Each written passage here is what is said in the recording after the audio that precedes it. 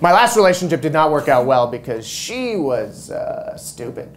And as soon as we moved in together, she got really strict about chores. She was like, Look, Ryan, because that's my name, every week you can clean the kitchen or the bathroom. Which one do you want? And I picked the kitchen. And sure enough, two weeks later, she throws a fit when she finds a pile of dirty dishes sitting in the bathtub. Now look.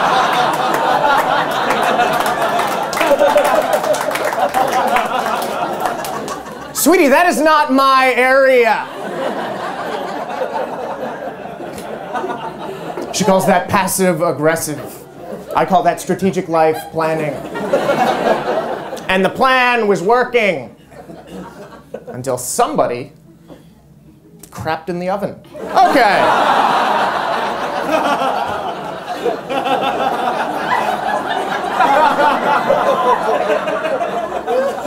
First of all, I don't even know how you did that. It was not on the rack.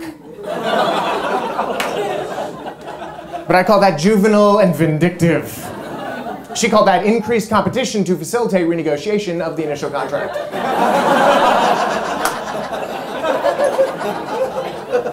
You're stupid.